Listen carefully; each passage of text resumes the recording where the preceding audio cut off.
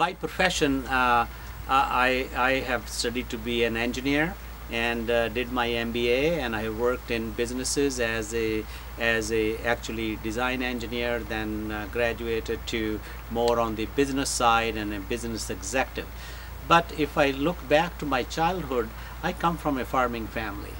And uh, and I, I my roots are in farming and when I come here my extended family my in-laws family they're all farmers so that's a big connection for me. And then I got the opportunity to work at Bellingham Technical College, and after working at Bellingham Technical College for a while, uh, I got the opportunity to run a solar company.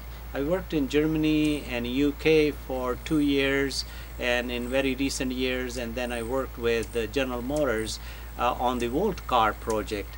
Uh, for for uh, making a solar energy as a power to charge the batteries for a solar car and and that was uh, a very very rewarding experience. Uh, I came back to Whatcom County and my family told me that we have so much berries why don't you do something about value add to the berries and I thought of a project that uh, exporting uh, blueberry and raspberry to India.